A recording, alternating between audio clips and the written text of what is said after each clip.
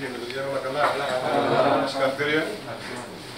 Εγώ αυτά που θέλω να σας πω είναι ότι αυτό που είδαμε σήμερα, την απόδοσή σας επίσης και πώς αντιδράσετε και με 10 παίκτες, με ένα παίκτη λιγότερο, και επίσης πώς πήγε το μάτς, θεωρώ ότι πρέπει να πιστέψετε ότι μπορεί να το κερδίσετε. Έτσι, δεν έχετε κάτι λιγότερο από τις υπόλοιπες ομάδες.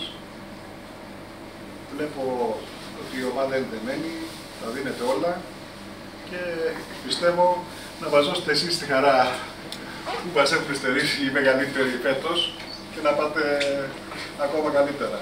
Αλλά το θέμα να το πιστέψετε και θεωρώ ότι μετά από τα τελευταία που είδαμε δεν είναι ούτε θαύμα, ούτε ε, κάτι το οποίο ε, είναι τόσο δύσκολο. Και ειλικρινά το πιστεύω, δεν σας το λέω μόνο για να σας το πω και να σας χαϊδέψω τα αυτιά σας, γιατί δεν υπάρχει κανένας λόγος. Αλλά αξίζεται να προχωρήσετε παραπάνω, συγκεντρωθείτε, κάντε καλή προπόνηση, δώστε τα όλα και συνεχίστε όπως πάτε. Να είστε καλά, να είστε δυνατοί και να σας έχουμε το καλύτερο.